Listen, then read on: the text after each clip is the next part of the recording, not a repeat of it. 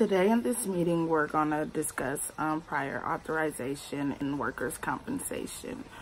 Um, prior authorization is basically getting um, prior approval for a procedure, a treatment, or um, anything um, to that nature. Um, it's only needed for specific prior authorization. It's not needed all the time. It's just needed for specific procedures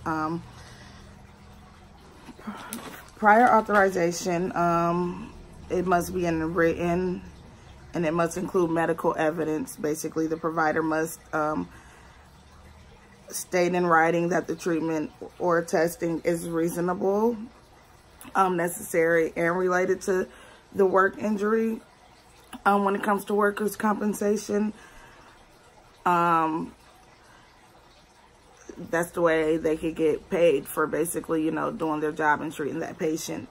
Um, if you don't go do the pre-authorization um, process, basically your claims could be denied, so you, you won't get paid for it.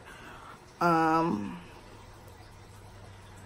the first thing you want to do is make sure that the employer that the patient works for um, has the workers' compensation insurance.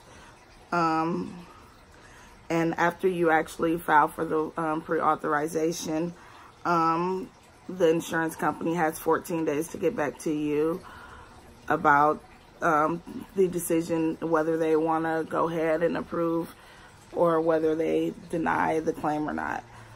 Um, as I said before, certain procedures when it comes to workers' compensation has to be pre-approved or your claim will be denied and you will not get paid for that claim.